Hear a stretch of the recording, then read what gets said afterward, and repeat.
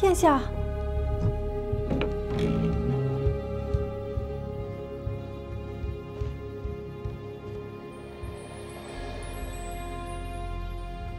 殿下，怎么了？怎么不着衣袜？会着凉的。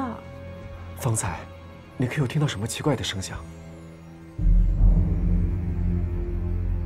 这般晚了，东宫寝殿怎会有奇怪的声响？会不会是职业的工人？哎呀，不行，我心中总觉得不妥当。我得去看看这虎符是否还在。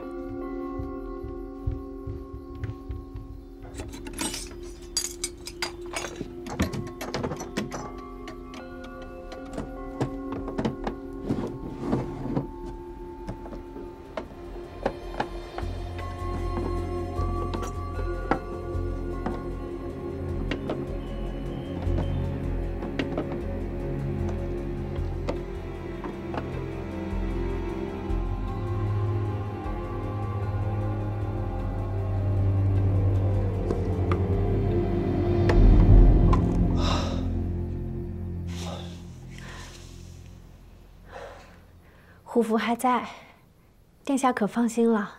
事关重大，此物关乎着东宫和长春宫的荣辱，不得有失。倘若真的出了纰漏，我的储君之位不保倒还好说，就怕是牵连到母后。这些时日，我一直寝食难安。这虎符，就像就像索命的神套，累得累得我喘不过气来。殿下也是太过交心了，这虎符在宫中放了这么多年，如何就丢得？在父皇手中放着，与在吾手中放着，这能一样吗？不行，这宫中人多眼杂，放在东宫里，我总觉得不踏实。那不若咱们这几日先不住在东宫，将虎符带去紫桂别院。那的守卫是妾兄孙胜的亲信，殿下也可放心些。待在调兵遣将时，再将虎符带回。对对对，这紫桂别院人少也安全些。那吾明日就将这虎符带出宫，放出去。嗯。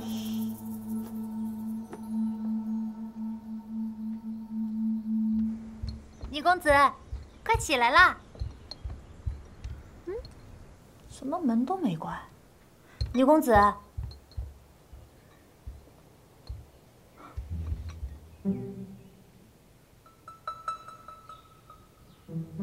怎么睡在这儿了？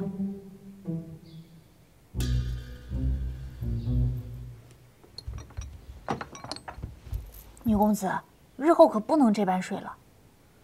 老夫人说了，睡觉着凉，将来到老了会不记事儿的。老夫人自身便是如此，现在记性已经不大好了。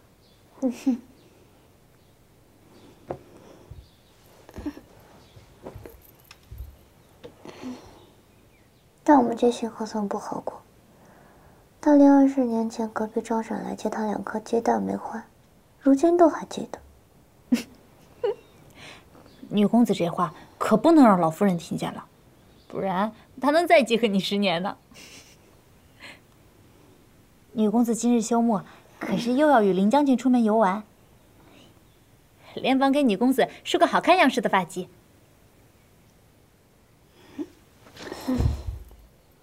不去，好不容易在家歇息一日，我就窝在这儿，哪儿也不去。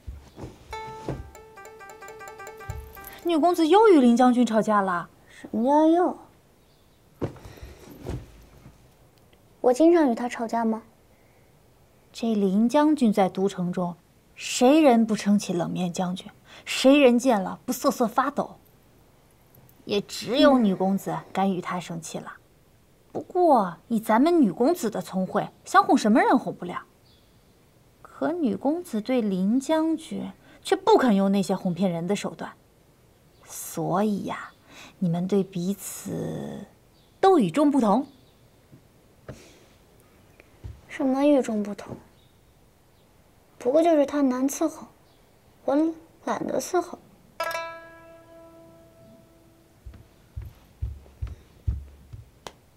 女公子，宫中来人，带来太子妃口信。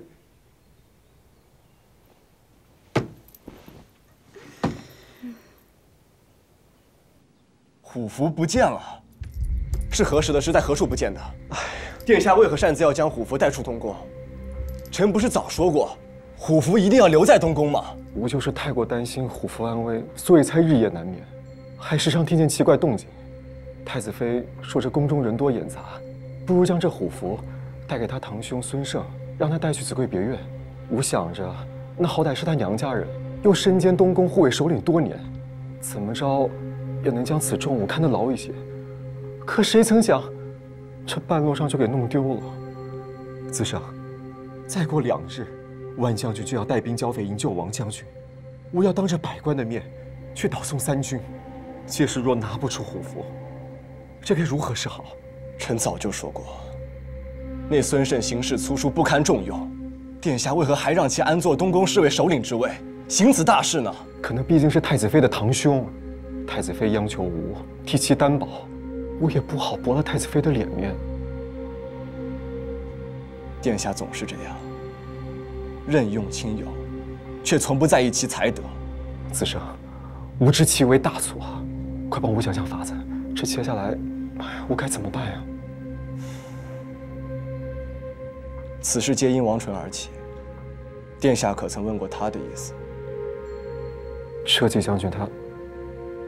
他病了，病了。那娄太傅呢？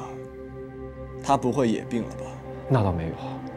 娄太傅说此事可大可小，大，无轻忽职责，罔顾父皇重托，无御下之能；小，无非无一时不慎，视察弄丢了。